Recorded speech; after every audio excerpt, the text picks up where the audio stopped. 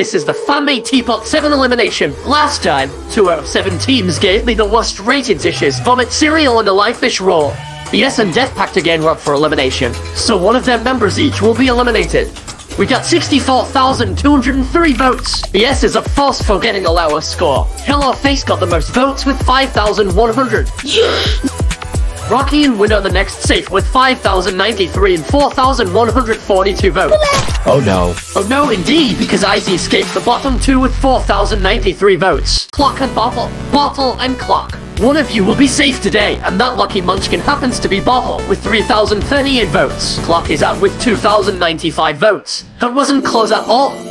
Next up is Death Pact again. Tree got 11,773 votes. Walker and Black Hole are safe next with 10,317 and 8,181 votes respectively. I don't want to waste time, so I'll just cut to the chase. Lightning is out with 4,293 votes. Fanny is safe with 6,078 votes. We're down to 33 contestants, so 10 of you have been eliminated.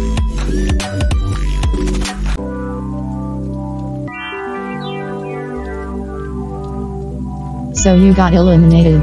This is where we are staying. Yes, I've been here for two months already, so I may as well get comfy. I've been here for five.